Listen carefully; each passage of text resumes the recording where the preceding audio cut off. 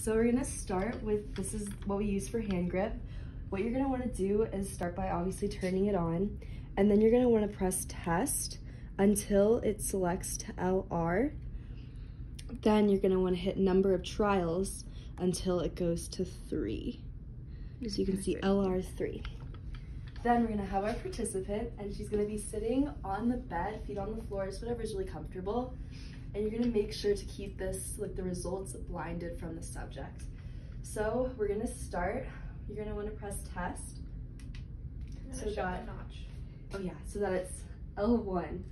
So that's what we're gonna start on. And then you also wanna make sure before starting the test that it's a comfortable notch level for the participant. So does that feel Yep. Okay. That's good. Sweet. And then you can move it by just sliding this out and moving it forward or backwards. So what we're gonna do is run over the protocol with them. We'll have your SOP and you're just gonna wanna read this out loud to the participants so they're both on the same page.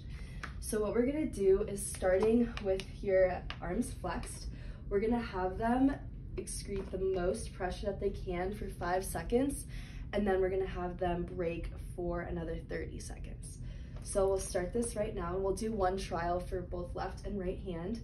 So with your little timer, we're gonna go ahead and we're gonna count down and then she's gonna exert that maximum force. So go ahead in three, two, one.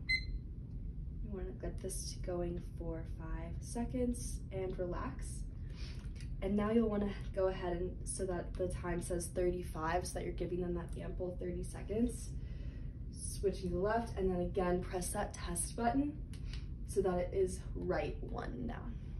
So we got about 15 more seconds and then she's gonna be doing her left, right hand.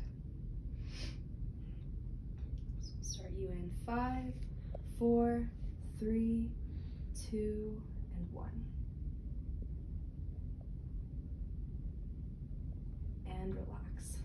So you'll just wanna keep doing this for the next like two sets of trials. So you have three trials total, each time remembering to press the test button.